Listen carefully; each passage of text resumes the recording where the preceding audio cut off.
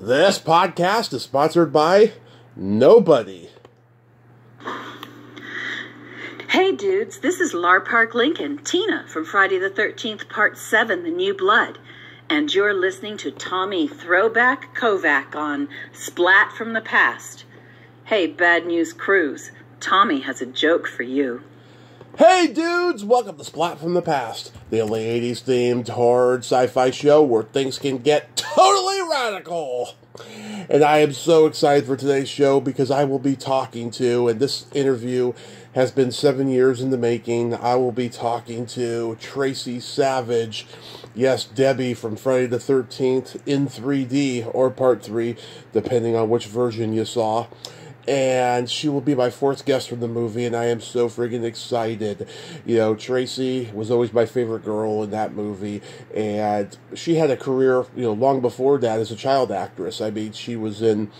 You know, uh, she was on she was on classic shows like My Three Sons, Little House on the Prairie, where she was Christy Kennedy. She had a, she was in a bunch of episodes of Family with Kristy McNichol. She was in The Devil Max Devlin. She was on one of my favorite episodes of Happy Days.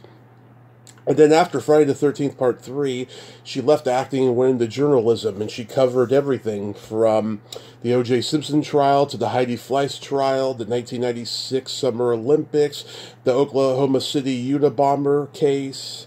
I mean, God, she's seen it all, and I'm gonna I'm gonna ask her if you know she sees it that way, if she's if she's seen it all, and it's gonna be a great conversation today. I cannot wait. And uh, shout out to Greg Gilbert, who helped facilitate this interview. Thank you, Greg. Also, rest in peace, Ron Thompson.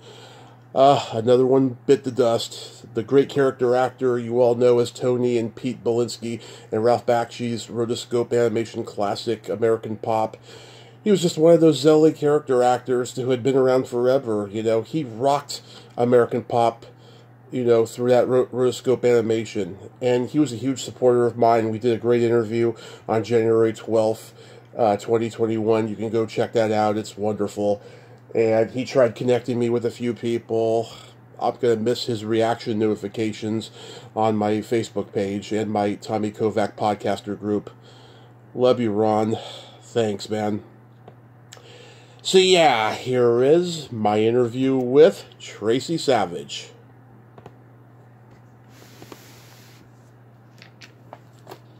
Hey, Tracie, welcome to the show. How are you today? I'm doing great, Tommy. Thank you so much. Nice to be here. Yes, nice to meet you too. I can't tell you what a great honor this is. I'm so glad that um, Greg could uh, finally make this happen. So thank you so much for coming on today. My pleasure. My pleasure. Happy, happy to be here. Happy to do it. Awesome. So going back in time, um, I know that um, your mother was a, a talent long, agent. Long time, by the way. I'm sorry. I said we're going back a long, long time. Long, long time. Yes. So I know that your mother was a talent agent, and you started acting at age two. Did it start with commercials? Well, um, we were living in Detroit, Michigan, mm-hmm. and um, we got an agent. And I think the first few things I did as a toddler were like print jobs. Um, mm-hmm. You know, like modeling, little little jobs for like a department store and yeah. a, uh, like an auto dealer and that kind of thing. But my first car commer- my first commercial I did at two years old was for a car commercial uh, in Detroit, Michigan. Nice. Uh, American Motors Rambler uh, car, and um, I did a few of those little ones in Michigan before we moved to Los Angeles when I was six years old. Wow, so the auto industry was what it originally was until Michael Moore had to make that documentary, Roger and Me, years later. Well, that's so funny you say that. I was actually working in Flint, Michigan. Um, I, I went to college in Ann Arbor, mm-hmm. Michigan, and so I know all about um, Roger and Me, and yeah, um, yeah, that's pretty funny. Oh, that's crazy. Yeah. um, so uh, your brother Brad, he also started probably around uh, at age two, right? Yeah, he started a very young. You know, he he might have been younger than me. Um, you know, doing commercials and little print modeling jobs. And when we moved to Los Angeles, uh, he was only, I think, maybe three, and he worked a little bit, but within a few years, he was working all the time. Nice, nice. Yeah, I remember him from the Apple Dumpling Gang and Red Dawn and all of that. Oh yeah. Um, he did a lot of Disney movies, um, like back to back Disney films. Um, Witch Mountain. yeah, Return from Witch Mountain, uh, No Deposit, No Return, and um, um, yeah, he worked a lot. He was on a TV series for a few years, The Tony Randall Show, and he did tons of episodic, you know, guest star roles on just a ton of different shows. Yeah, you're you're both in the same generation as a lot of kid actors I've interviewed, like Robbie Rist and Lisa Lucas and David Pollock and Radames Pera, Rachel Longaker. The list goes on and on. Well, Robbie is uh, one of my brother Brad's dear friends. I mean, we've known Robbie. I've known Robbie. Brad's known Robbie since they were five or six years old. And Brad is still in touch with Robbie all these years later. Yeah, he's a funny, funny guy. Oh, he is. Love him. Hilarious. One of your first TV show appearances was as Ronnie Schell's niece on Love American Style. I just had Ronnie on. Are you kidding me? he's he's 92. He's still sharp and funny. Oh my God! Well, you know, I was what, maybe six years old, seven years old, Mhm. and I barely even remember working on that show. Um, that's ama- how you have some great trivia. I tell you, you do your homework because that's impressive. And that you actually interviewed him recently. Um, wow, does he live? Is he in Los Angeles still? I believe so. Yeah. Um, hmm. Yeah, well, I'm a true fan of of everybody that I talk to and stuff. You know. Wow, and that's so- amazing. Good for you. Yeah. Then you did the Mod Squad. Anything stand out about that? Um, not really. It was a pretty small role. hmm Yeah, and I was, you know, maybe six years old, Yeah. and six or seven years old. Um, it, that was kind of a, a kind of a small part.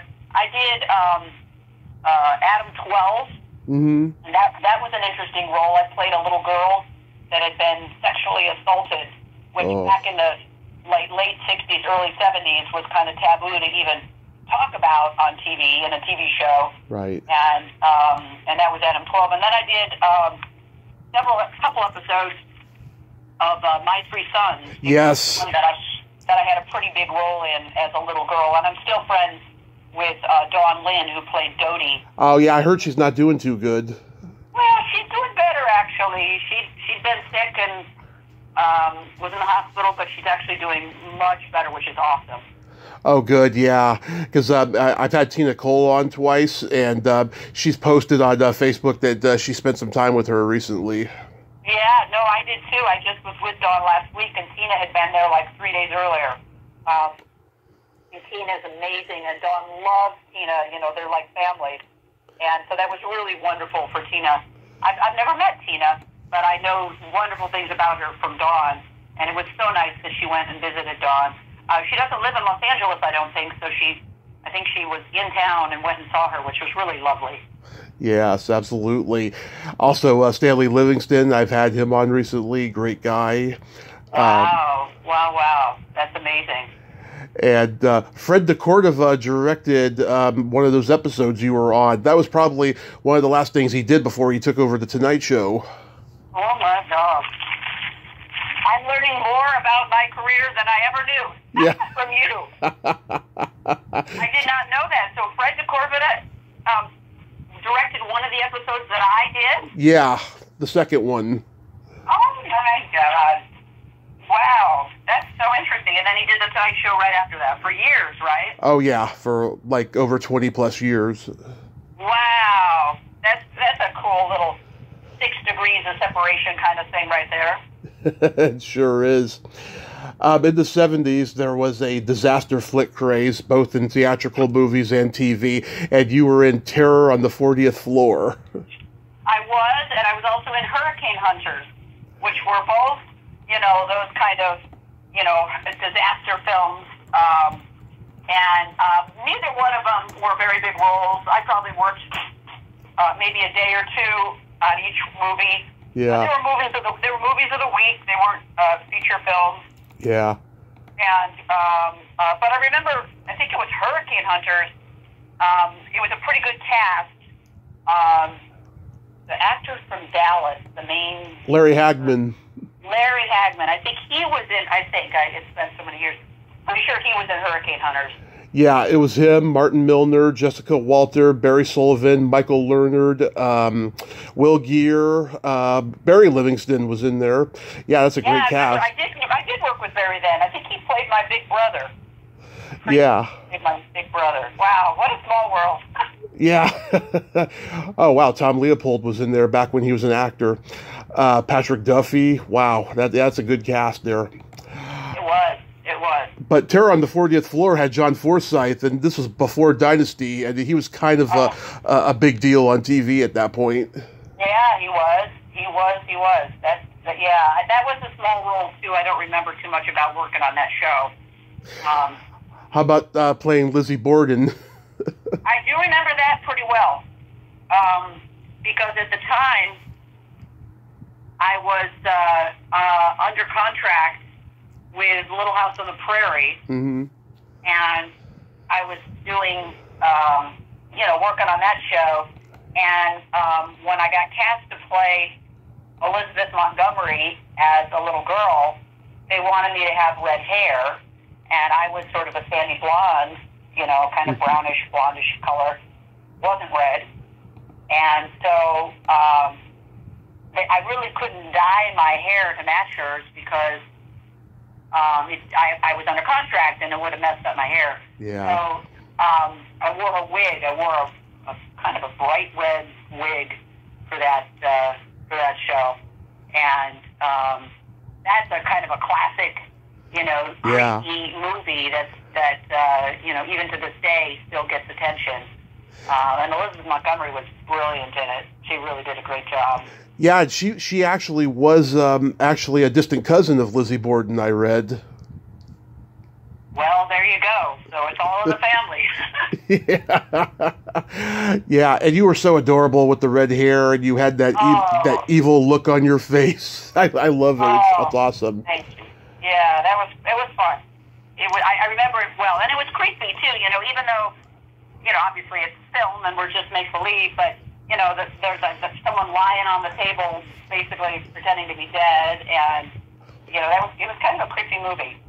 Do you remember anything about the director Paul Wendkos? No, I don't. I don't. Yeah, a couple actresses. a Couple actresses have me too'd him on this podcast. Really? Oh wow! What did he go on to do that was famous after that movie? Well, his most famous movie was the first Gidget movie in 1959. Oh wow! Oh, Yeah. Wow. He was a, he was like an old studio director, you know. Yeah. Yeah. Interesting.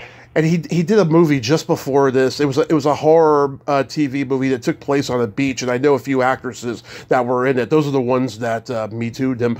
But uh, yeah, I mean, it, it, it's crazy how things were different back still- then. He's not still alive, is he? Oh no, I think he's he- he'd probably be hundred today. Okay. Wow. Um, yeah, many remember you as Christy K, the uh, Little House on the Prairie. Uh, like, so that was just a standard audition, and Michael Landon was great to work with. It wasn't really. Um, I was I screen tested for the the lead role of Laura Ingalls, hmm and um, and and I didn't get the role. It was between me and Melissa Gilbert, and I was um, I was a few inches taller than Melissa Gilbert, and a few inches shorter than Melissa Sue Anderson, who played Mary. And I was really too close in height to both of them to be, you know, a little sister. Um, I mean, I, I wasn't. Melissa Gilbert was a couple inches shorter, and basically she made a better uh, Laura in terms of height is concerned. Plus, she was a, a really good actress. But if I, through the years, my entire life, my mom had mentioned when I was younger that you know I had screen. And I remember screen testing. I remember working with Michael Landon on the screen test and being really excited. I'd read the books, so I knew everything about Laura Ingalls and Little Mhm. House, and um, but all through the years, I been told and been saying that yeah, I had screen tested for the role, and it was between me and Melissa Gilbert. But there was a part of me that doubted that. There was a part of me that thought, oh come on, I'll bet there were five girls on that screen test. Well, Yeah. fast forward to about a month ago, I was in Simi Valley for the uh, 50th anniversary of Little House on the Prairie, um, and I got a chance to catch up with the cast who I haven't seen in, in literally 48 years. And um, I, I, you know, was talking to Melissa Gilbert, and she said, "You know, Tracie, I have the um, call sheet from the original screen test." And I thought, "Wow, that's amazing! That's so cool." Um, I'd love to see that. And she said, well, you know, it was just you and me. And I, my eyes kind of flew open, and I, I'm like, really? You mean that's that's really true? Like I just wasn't. I couldn't believe it truly was just between me and Melissa for that lead role. And I, I when she told me that, I mean, I had like I loved my career. I was a broadcast journalist for 30 years after college, and Right. covered stories all over the world and uh, now I'm a college professor and I love my job and I love my students. I wouldn't change my life for a minute. However, at the time, I really wanted that role. I really wanted to be a Laura Ingalls. And so I turned to Melissa Gilbert and I said, wow, Melissa, can you imagine how different my, my life would have been if I'd gotten that role? Like, like just totally different trajectory. For 10 years, I'd be on Little House and then who knows where I'd go from there. Yeah. And Melissa, she turned to me and said, imagine how different my life would be. Because she's basically, you know, that role defined her adulthood even because she was on the show until she was probably, you know, 20 years old and, um, or maybe even 21. And then, you know, she went on to work Yeah. after that. But it's really kind of, I don't know, just her life would have been completely different too. So we But- both kind of laughed about just how, you know, how life can take these turns, twists and turns, and um, and you know, the decision, one decision made, you know, put me off in one direction and her off in another. Um, and so it was very, very interesting to, to hear actually that it really was between the two of us for that major role. Um, I, I, I was a little blown away by that, and that was just a month ago out in Simi Valley. Yeah, I, I, uh, her Melissa Gilbert's uh, godparents Charlie Brill and Mitzi McCall had been on the show. Uh, the, uh, her godsister uh, Jenny uh, connected me with them, and they're like uh, some of my favorite guests I've ever had. They are hilarious. They were the husband and wife comedy team that went on the Ed Sullivan Show right after the Beatles, and they completely bombed. Wow! Wow! yeah, you have you have the best knowledge. Um, you know, here's a little tip or a little uh, oh yeah, to here's an exclusive. My brothers, I have an older brother and a younger brother, and the three of us are contemplating. Um, your navels? no, I'm Uh, kidding. we're, no, no, we're contemplating um, um, writing a book. oh yeah, about the three of our, just basically the three savages growing up in Hollywood and about our careers. And um, I swear I should hire you to help us do research because you know more backstory, facts, and figures than anyone I've ever met. I'd I'd be happy to. Absolutely. Yeah, you guys could like each you, you guys could each have a chapter in the book. Yeah, no, for sure, for sure. I yeah, I would be happy to help. Um, Charlotte Stewart, I love her. She's been on the show, and I, I did not know what to expect. She's so sweet, and I, her book I think had just come out, but I didn't know about it, so I didn't know about her wild Laurel Canyon past. So she she she thrillingly shocked me when she swore on this podcast. Yeah, she's something else. She's she's dynamic. I I hadn't seen her in decades, and um, I love her backstory, and I love how you know feisty she is and Yeah. edgy she is, and um, she truly didn't fit. I mean, she was not typecast as this prim little teacher. Yeah. Um, she has spunk, and I love that. I, I, I love her, yes. And Michael Landon, people have told me, you know, he was like a spiritual advisor, just like his character on Highway to Heaven. He helped a lot of people. Yeah, yeah, no, he was uh, he was just a phenomenal person. The, one of the nicest, kindest, uh, you know, men and and lovely, um, lovely to the kids and lovely to the crew and um, just a just a lovely man. I got to meet his two of his kids, hmm me that I had never met before, and um, uh, I don't even think they were born 50 years ago. That's probably why I never met them. Yeah. but they, they were they were super super sweet, uh, really really nice people. Yeah. Do you remember anything about Victor French? Um, well, I work with him, but I don't. You know, he was an adult and I was a kid back then, and so we didn't really, you know, connect. I mean, we were in scenes together, a couple, but um, nothing that I that stands out. Um, you know, that I that I remember really. He, he was one of those guys you don't see anymore. The heavy set, bearded character actor like uh, Sebastian Cabot on Family Affair. Oh, God, you know, yeah. yeah, those guys are, are, aren't around anymore, sadly. Yeah, you're right. You're absolutely right. Yeah. Oh my God. Tell me about working with Kristy McNichol on Family because I have a Kristy McNichol story. Oh my gosh. Well, um, Kristy and I were basically, you know, competitors in the entertainment industry. We were both child actors, and we'd go on interviews together and compete together for years and years. And then she ro- she landed that role, and I got cast to do. I think I did two or three episodes, and um, um, you know, we were friends. We were um, competitors, but also friends, and uh, you know, we're kids in the biz, and so it was fun. It was actually a fun show to work on because I was sort of hanging out with you know with with my friends. Yeah, I met her a month before uh, COVID hit at a Comic Con in the Bay Area, and I was waiting, oh my God, for it. I was anticipating it. My mom never saw me so excited to meet somebody at a con ever as I was with her. And um, we go there and, and she's there and I, I just told her i said you know i loved her performance in just the way you are.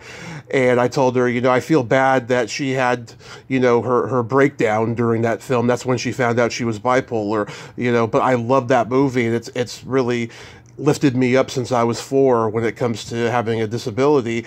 And she said, "Hey, I, it, that that was hard for me, but I love that movie. I'm so proud of it." And she whipped out an eight by ten of her playing violin in the movie or playing flute, or yeah, it was flute. And then she signed it for me. And then we, you know, we hugged each other and we took some great pictures. I'm embarrassed by the way I was dressed, but other than that, I loved I loved that experience. It's it's my favorite experience.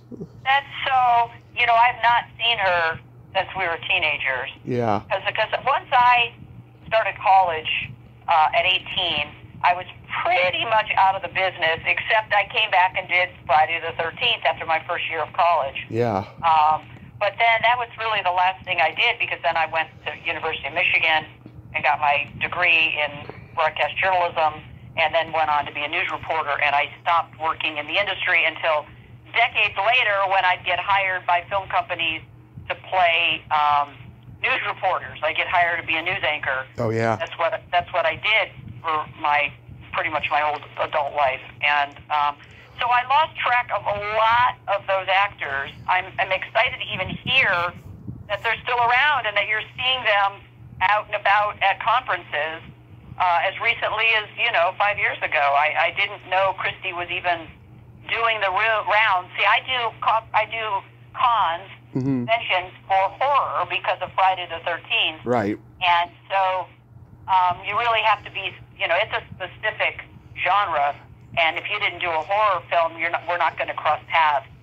Um, Yeah. Well, there's a there's a chance you might at at, at at at some you know autograph show signing. You know, I haven't seen her do. I mean, she did do that one horror movie, White Dog, but like other than that, yeah, I haven't seen her booked for horror conventions. yeah, yeah. And she had a brother, right, Jimmy? Jimmy, yes. Yeah, that's so cool. That's really neat. That one episode you did of, a Family where she's got the alcoholic friend, I interviewed her recently, Carol Jones. She was 22 years old playing 14 in that episode. Oh my gosh, that's funny. Yeah, yeah. Was that the one where I was a journalist at a newspaper and I was, or she was? I'm trying to think. Maybe I was the source and she was working for the camp, the, the school newspaper. I think that was the, what that episode was I about. think so. There, there may have been the one before that. I can't remember, but I, I do remember seeing you in it. Yeah, yeah, that's that's very interesting. How about the uh, Devil of Max Devlin? You know, I that was a Disney movie. Mm-hmm. Um, I I was now like almost an adult, or I might have been 18 already, Yeah. and I was getting ready, you know, to leave um, leave the industry and um, and move to Michigan to go to University of Michigan and get a degree. And I pretty much um, I kind of uh, don't remember that much about that movie. I think it was probably a small role, and um, uh, I just honestly I don't even remember. Yeah, well, it's funny. Uh, Ronnie Schell is also in the movie. I asked him what it was like. Um, he said he liked working with Elliott Gould, but that that was yeah, about it. I don't think I had a. The problem is I don't think I had a scene with Elliott Gould. Yeah, I remember seeing this advertised on ABC when I was a kid, and uh, the the announcer Ernie Anderson said, "Bill Cosby is the devil," and it's like, yeah, he is. Yeah, Yeah, no, that's very true. That's really funny. I know. I, I, think back on that too, um, and it cracks me up. Like, oh my gosh. yeah. Well, you know, people in Hollywood have always had their um, their their sins in plain sight, you know, and this Yeah. is definite one of those uh, situations. You were in one of my top three favorite episodes of Happy Days. What was that experience like? Oh, that was a blast. That was just an absolute blast. I, um, um, I, you know, I, I was an adult by this point. Mm-hmm. I was in college, I think, and um, I, I, my, my half, my stepbrother, Mm-hmm. um, my stepbrother, um, was um, a regular on Happy Days, Mm-hmm. and I used to play on the Happy Days softball team. Wow. Knew a lot of, but before I even did an episode, so I knew a lot of the. Um, The cast members, yeah, I knew a lot of the characters, a lot of the actors. Erin Moran and Scott Baio, and Yeah, all of that, and I knew some of the crew. So it was so fun to work on that episode. Plus, um, Cathy Silvers played Jenny Piccolo, hmm and um, she, um, her father was the guest star on that on that. Phil Silvers. Yeah, Yeah, playing her dad. yeah. You know what I like about it is that the tender moment between him and Cathy um, at at the end, near the end, it always brings tears to my eyes because. I, I don't know what kind of a father he was. I imagine not a good one because a lot of those old Borscht Belt comics uh, were not good family men. But I, I will tell you this though: when I see them, you know, interacting with each other on screen near the end, it's it's almost like on Golden Pond when Henry and Jane Fonda are having like a a conflict resolution. It just like it reminds me of the same thing when I see that. Yeah, yeah, no, you're right. And so that was a kind of a privilege to be on that episode with Phil Silvers, you know, with his daughter. I, I had a blast. I had so much fun. I had also screen tested for that role of, of not Jenny, but for, for Joanie, for the role that Erin Moran got. hmm Um, but they went, and I looked like Ron Howard. I had his coloring, his hair, and his freckles, and and Erin looked like the dad Yeah. um, more. And um, Tom Um, Bosley. uh, Yeah, and she was cast on that role. Uh, and you mentioned on Golden Pond, there's so many degrees of separation here. My my brother Brad actually, before they made the movie, Mhm. it was a it was a play Yep. um, at the Dorothy Chandler Pavilion, uh, and Brad played um, the, the the grandson hmm um, in the play, and it was with Charles Durning, I believe, Oh yeah, um, at, at the uh, down at the Music Center. Chris, Um, Christopher Plummer and and, and uh, James Earl Jones. They've done it on stage. Yeah, yeah. Yeah. Uh, Marion Ross, I, I, I- was so lucky to interview her back in 2020 and, and stuff. Do you, do you remember anything about her on set? Yeah, not really, because we didn't have any scenes together. Mm-hmm. Um, um, you know, I was I was with Joanie uh, or Jenny and Joanie, and then another actress that played another. Uh, we were um, uh, sorority girls, and um, and so all my scenes were e- were either at Jenny at the house, but with just Jenny and Joanie, Yeah. or or down at the you know at the, the little cafe or whatever it was, the coffee shop, and um, so I didn't have any scenes with her. I mean, I I saw her on set, um, but I didn't actually uh, have scenes with her. Oh, Jerry Paris uh, directed. Um, I did a I did a tribute interview uh, with his daughter a few years ago. Oh, that's so amazing! How many years have you been doing this, Tommy? Seven years. And you, how many? I'm just how many? Do you know how approximately how many per year you do? I don't know how many year. I mean, I do do a count at the end of every year and stuff. I can't remember all of them, but it's a lot each year. What's the most you've ever done, if you can remember, or just a ballpark? I, I I couldn't tell you. I can tell you the least amount. That was the first year in 2017 because I I started in May, and by December I probably had maybe 35 ish. Oh my God! Do you do one a week, or or more, or less, or? Well, at, at that time, I did one a week because I had trouble. But uh, since like m- like sometime in 2018, I've I, I've got one almost every day now. Sometimes uh, a couple times a day, depending on what's going on and stuff. You know, I try to not do as many in one day and stuff, but sometimes you just can't avoid it because of the other person's schedule. You know, I prefer to I prefer to do one a day, but you know, sometimes Yeah. sometimes you don't know what's going to happen. Gosh, that's really um, amazing. That, I'm so impressed by that. Really, really, that's really, really incredible. Um, good for you. That you're, you're, you know, you're a good person to do this job because you sure know your stuff. You sure know your history and you know the names and. Uh, Yeah, I mean, I- I I think my mom, you know, she worked for the cable company. We had every channel. We we took regular trips to the video store and the movies. It's just it's always been a part of my life, you Where, know. what part of the country do you live in, Tony? Currently, I live in Modesto, but I'm originally from San Francisco. Yeah, okay, so you're here on the West Coast. That's fantastic. Well, good for you. That's Yeah. wonderful. Yes. So now we get to Friday the 13th, Part 3. I started watching these movies when I was eight. I used to watch them when my parents were asleep. And I fell in love with Adrienne King in the first one. And then I started, Yeah. I then each sequel I saw, there was always one girl I fell in love with, and you were definitely mine for three. Oh, that's so sweet. Thank you so much. Um, Yeah. yeah, that was that was really. Um, I'm I'm I can't tell you how happy I am that I had that experience. Um, at the time, I didn't even know what I was getting into. hmm Um, I um, I was uh, getting ready to go away to college, and mm, I was uh, you know ready to quit the business and um, um, move you know back to, to Michigan, and um, I went on the interview, and uh, actually my mom my mom by this time she became an agent when I was um, 16, so she didn't represent me as a child, you know, as a little girl. Got it. But yeah, but but when I was at 16, she was representing me at least theatrically, not for commercials. Mhm. But anyway, she said, "Hey, they're making this movie. Um, I'm going to send you out on it." And I'm like, "Oh, mom, you know, I'm leaving. I'm moving away. I really." She goes, "Oh well."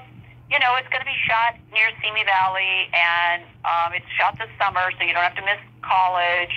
And um, you know, I think you should um, you should give it a go. And so um, so I did, and um, um, got them apart. But again, I didn't even know um, how incredible it would turn out to be. And you know, we're talking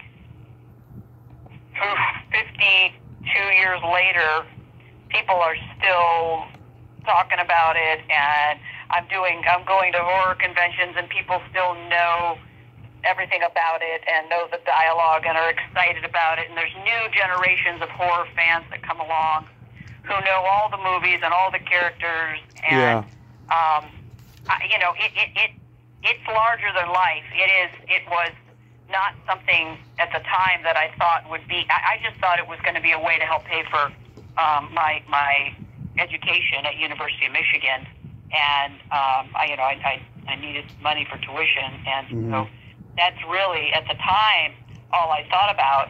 And then when I um, when I actually um, became a news reporter right out of college in I was in Ann Arbor, Michigan, and I got my first job in Toledo, Ohio, just down the road from Ann Arbor, and I really kind of downplayed my act. I didn't mention my acting career. I wanted to be taken seriously as a journalist, and Right. although I was just a kid, I'd just gotten out of college. I had worked at the campus radio station in Michigan, and I'd studied journalism and journalism law and ethics, and you know, knew, learned how to write, and so learned how to tell stories with pictures, and so I didn't talk about my acting career at all, and it really didn't even come up for many years because I kept it pretty. You know, no one in in Ohio would imagine that the the girl that's reporting on the local township trustee meeting or school board meeting or fire in a neighborhood business was the same girl that starred in a horror film, you mm-hmm. know, a few years earlier. I kept it pretty low key, and it wasn't until I was in Dayton, Ohio, about two years after I got out of college. Well, it was a couple years after I was there for four years, so it was you know maybe four years, five years after I did the movie that somebody figured it out, and they um, they ran a uh, a story on me um, in the local paper. You know that I was in Friday the Thirteenth, and um, but it, it was for a few years, for many years. I just and even when I moved to LA and I was a news reporter and an anchor in Los Angeles, again I didn't really make a big deal out of it. I, I kind of wanted to just stay low profile, Yeah. not you know because I didn't want to get uh, confused uh, with my broadcast, my journalism work as a journalist. Um, but now, you know, all these years later, 42 years later, um, or 41 years later, I I love it, and I'm thrilled that I was in the movie, and I and I I love going to. Um, The cons. yeah, I love going to the the um, conventions and meeting people, and my, and and, and I'm a, now I'm a college professor, and my my students um, love to hear that I was in this movie because they know about it. Because I mean, they don't know about Little House, by the way. They most of them have never most of them have never heard of Little House on the Prairie, but they have heard about the Friday the Thirteenth, and so it's fun. They enjoy knowing that their teacher um, you know, was in a horror film. They they get they get a, a laugh about that. So, Yeah. uh, That so that that's pretty that's pretty cool. uh, that is. Let, let, us see. I've talked to David Katims, funny guy. I love his electrocution scene in the movie. It, it cracks me up every time I see it. Um, Marilyn Poucher, who played Mrs. Voorhees uh, on the boat with Dana Kimmel, I talked to her. Her her daughter told her she'd be a fool not to do my podcast. Oh, that's so nice. yeah. And do, do, do, do you remember uh, Terrence Mc- McCorry? Um, mm, He was he was Steve he was Steve Miner's assistant, and he played the young deputy at the end. okay, yeah. I don't think. Yeah, I don't really remember him too much. I, um, you know, we we probably didn't have. You know, like if he was a deputy, we didn't have scenes together. No, but he remembers something about you. He said he said that Tracie was a real tomboy and she could throw a football like nobody's business. That's hysterical. Oh my gosh. Well, I was pretty athletic as a, as a little girl. Yeah. And um, and I did have a pretty good arm. And Rosey Grier, the football player, yeah. and my brother Brad and Mark, both my brothers, did a movie in Arizona. And he was one of the actors, and my brothers were the actors, and um, and Rosey kind of taught me how to throw a football. So Oh, I, I, I, my whole life, I've known how to throw a football. Love Um, it. that's funny that he would even remember that. I guess we must have been on set, uh, you know, tossing the football around. So um, Yeah. that's, that's that's super cool. I love that. he he's done a couple conventions, but he says he hasn't seen you at them yet. Yeah. Does he do the horror con? Yeah, yeah, because because uh, he worked on this, he worked on Nightmare on Elm Street and a few others. Because yeah, he he he got- he got lucky and was doing like assistant work on on horror movies, and sometimes he would be like a background player or something. Yeah. Yeah, that's cool. That's really neat. I did not. Uh, I did not know that. Did did that yo-yo hurt? Uh, no, not really. Yeah. No. It, it was. It was pretty. They were pretty gentle. Uh, it was not planned, though. I can tell you that. yeah, it doesn't look like it. Yeah, it was. It was not planned, for sure. They, they gave you some great lines in the movie that I, I want to bring up. That that one line uh, was it you, me, or the hammock? Was was was, Oh, yeah. was Debbie asking him who orgasmed first? I, that's how I always perceived let's not, it. Let's not go there. I'm not going to get into that, but uh, it is it is one that I um, I tend to uh, repeat. Like I'll sign autographs, and that's one that I'll write. Um, you know, on the uh, I'll write that on the uh, uh, their picture. You know, when I'm signing it. And Yes. they love that. and then you you say, "I'm gonna go take a shower. You should try it sometime." Yeah. you, you say that in such a Tracie Savage like way. Like I can imagine in hindsight that you were going to be a reporter because I, I yeah I don't know if Debbie is generalizing it or telling him he stinks. I don't know. Yeah, it was probably more of the second. Yeah. it's hilarious. Was there a long discussion before filming about the shower scene? Well, yeah, kind of. Um, you know, I was uh, I was a kid, and so I'm having to kind of navigate something that was kind of tricky. Um, you know, like as I was I was nine, 18 or 19 years old, and um, I'm having to talk to the producer and director and say, look, you know, there's only certain things I'll do. I'm going to go off to college and get a career and started, and I don't want to ruin my career by, you know, doing something that's too, you know, trashy and that's going to impact my my life. And so I kind of had to, at a at a at a young age, um, fend for myself. Like in other words, I didn't have my mom there on set, kind of advocating for me. I was barely an adult myself, but I had to kind of, you know, like put my foot down to certain things because, you know, I wanted to sort of save my dignity, um, depending on, uh, you know, where I ended up um, in my career later on. Um, Mm-hmm. you know, I so anyway. Yeah, well, you looked great in that, and I commend you for doing it. And you had a um, a Kevin Bacon esque death, except the the blood didn't squirt into your mouth like it did in his. Oh man, yeah, yeah, it's Did- pretty crazy. Did you know that a book just came out about part three? No, I didn't. Who, who Yes. did it? I'm going to give a shameless plug to another guest of mine, R.G. Henning. Uh, he wrote a book about part two that came out last year, and now he just came out with a part three book. Um, he was scheduled to come on here last month, but uh, his book tour started earlier than he thought, so um, I'm waiting for to hear back from him. But it's called Jason 3D, a comprehensive expose on Friday the 13th, part three, and yeah, I'm looking I'm looking forward to uh, getting that one.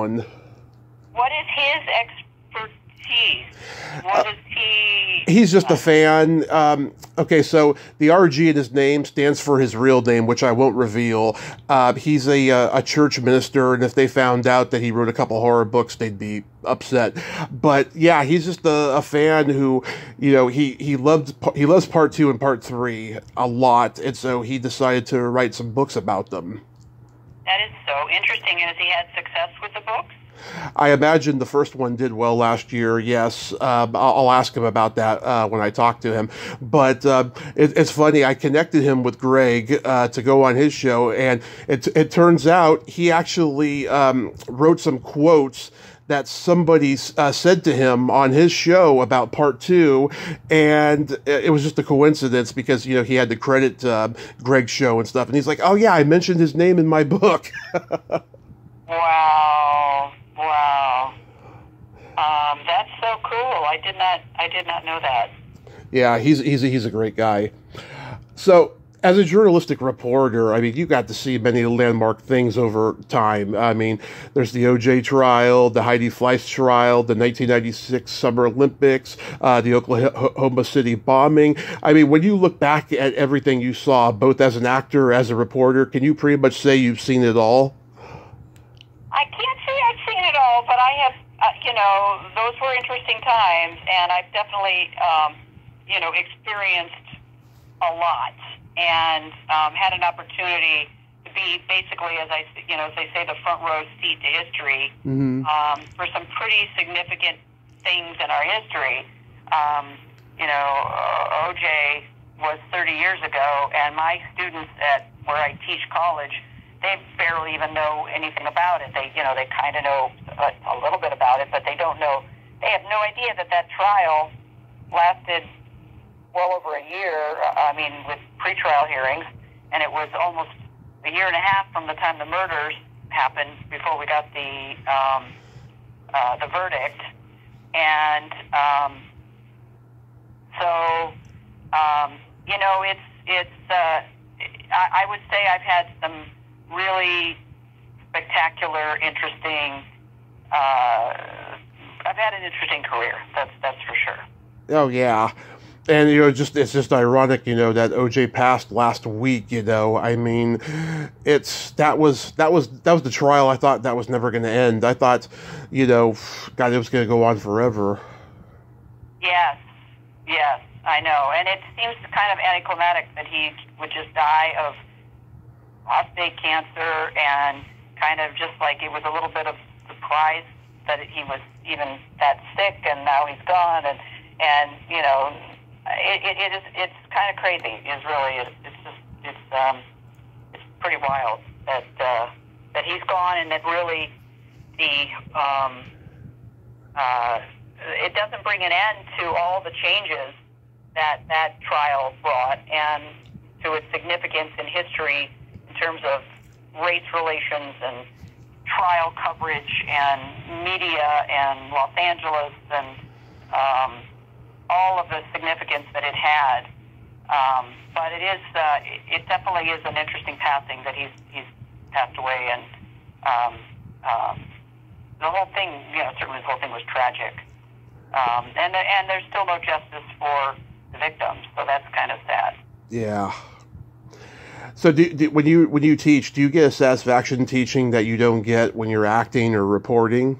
Oh yeah, yeah, yeah, absolutely. Um, reporting, when I first started in the business, uh, I worked in the middle of, I worked in the Midwest, and I covered, I covered things that mattered to people in these small towns, and um, and I felt like it was a public service, and I really, it was really wonderful.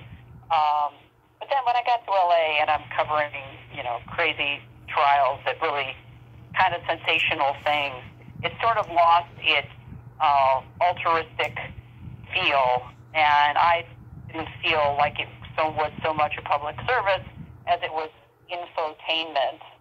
And um, but now teaching, I'm back doing something that ha- that has an absolute direct impact on the lives of people, and um, it it uh, you know I can help start careers for uh, for young people, and that really uh, a, a spectacular feeling and a um, it's just very very um, satisfying and and it feels great and it makes me happy and proud and all those other things.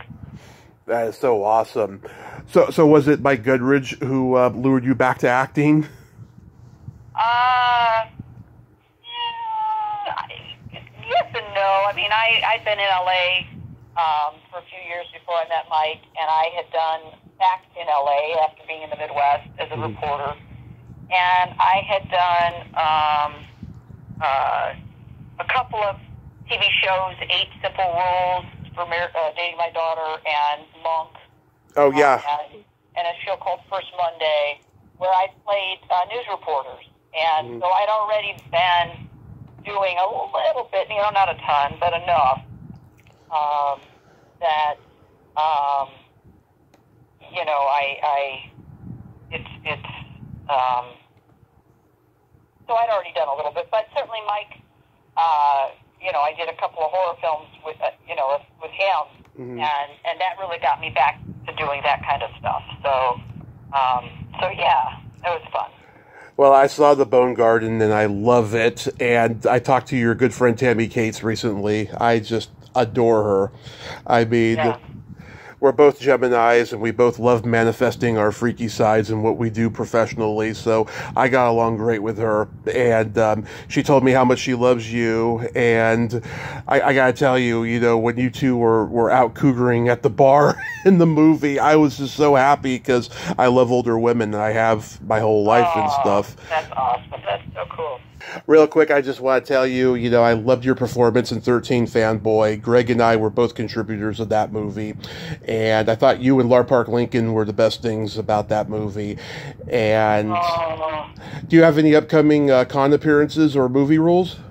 Well, I do actually. I am. Um, um, I've got. I'm going to do like four or five cons this year. I'm going to. They're mostly um, Days of the Dead, and I'm going to be in Phoenix, and I'm going to be in Indianapolis, Mm-hmm. in Houston, and I'm going to be in Niagara Falls. And then I'm doing a Little House convention in Connecticut. So I'm actually going to be pretty busy this, uh, pretty busy this year. Well, if you ever get booked for a con in California, you know, I will definitely show up if I can, um, because I would love to meet you. And I can't tell you what an honor this has been. I'm so glad Greg could connect us. Thank you so much. My pleasure, Tommy. I so uh, it's been a blast, and I'm really impressed with uh, your knowledge. It's beyond anything I've ever seen. Um, so I'm going to keep you in mind when we get to putting our book together. I may hunt you down and have you be a consultant. um, Yes. Because I, I, you know, to help us find those connections um, that you seem to know a lot about. So that's super cool. I would love that. Thank you so much, Tracie. Have a great rest of your day and be Thanks. safe. You too, dear. Okay, bye bye. Bye bye. Well, there you have it. Tracie Savage. Ain't she a sweetheart? Oh my god, I absolutely loved her. She was awesome, and I'm so glad we could have a great conversation like that today. And yes, I would love to be a consultant on the book. You know, when or if they do it, I think they should. I think they got a great story. The Three Savages and their own three little chapters. That would be so awesome. Well, until next time, this is Tommy Throwback Kovac saying there's no shame in living in the past because the present sucks. Later, dudes.